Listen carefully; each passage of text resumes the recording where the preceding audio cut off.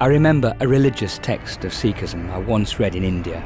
It was about our beautiful houses and palaces, our solidly built things that we desire, our saddled horses and elephants, and how we go along with these. But none of them can be taken with us, and like fools we bother with them until the end, to this point of exhaustion. It could be a metaphor for our fancy shiny bikes and our hundreds of thousands of countless, perhaps pointless actions. Are they really all for nothing?